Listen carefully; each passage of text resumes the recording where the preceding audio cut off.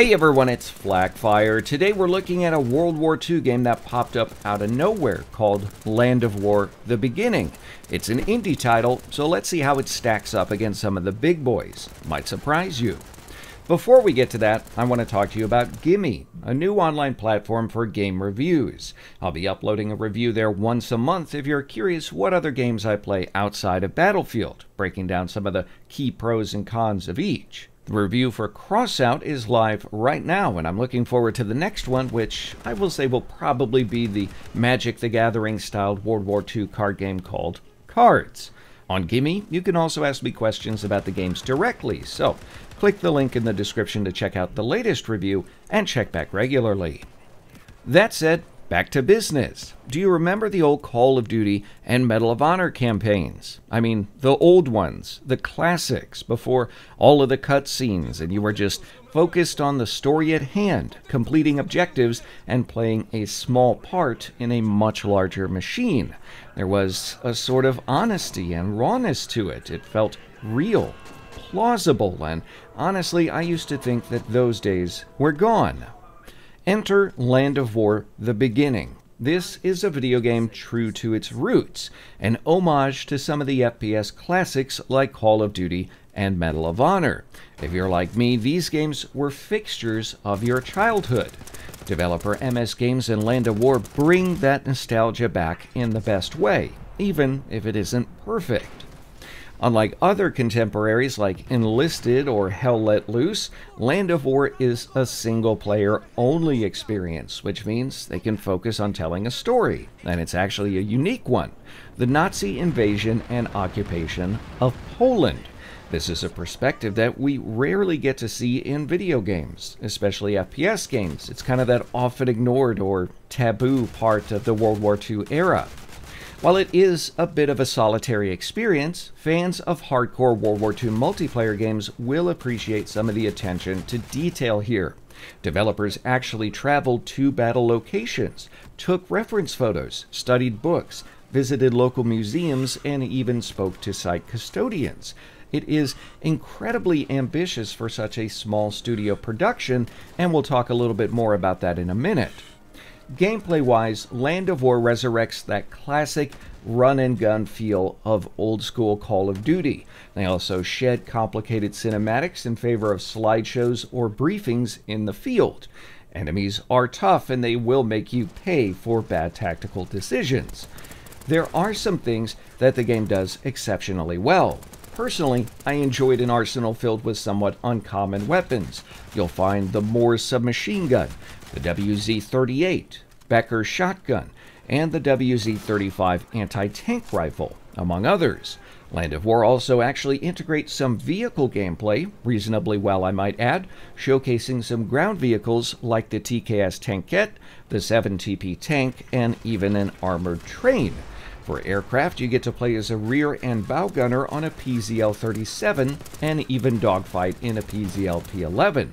It's a real treat to see these vehicles and weapons come to life in game, especially because they never really get the love that they deserve from mainstream developers.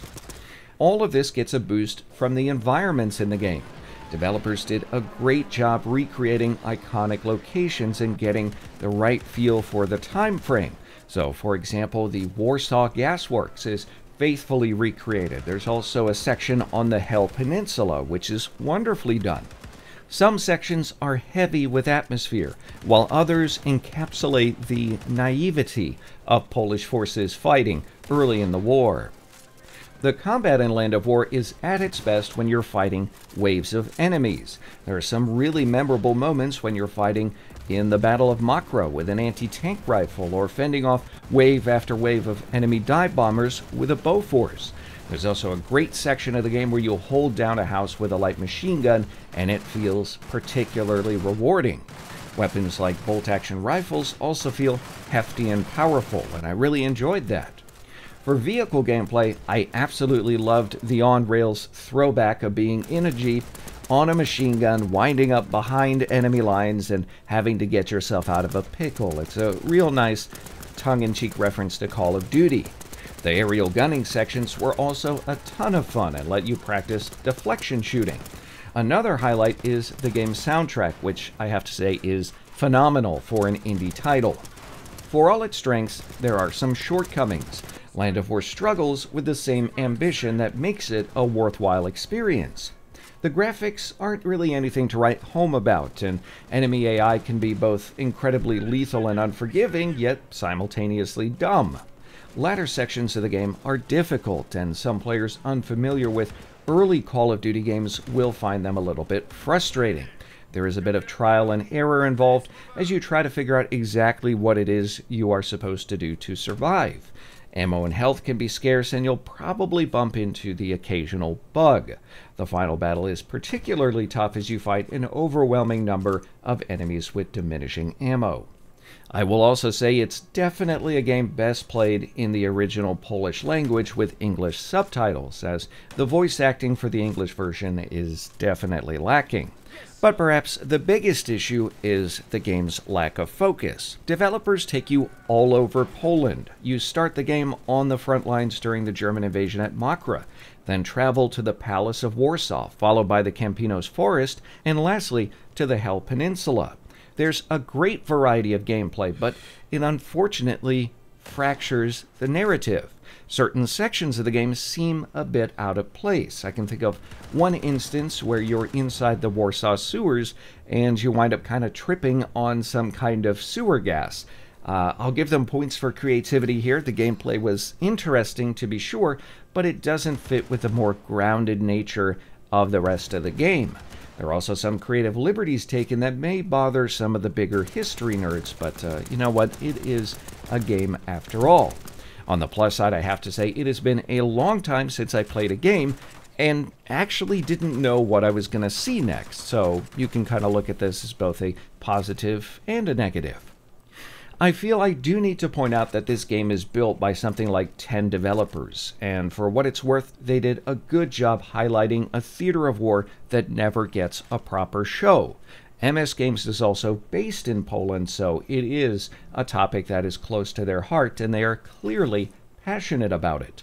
If you're someone looking for that classic Call of Duty experience and you don't mind some occasional frustration or a bug, it is a wonderful trip down memory lane that actually takes you someplace new and offers some challenges along the way.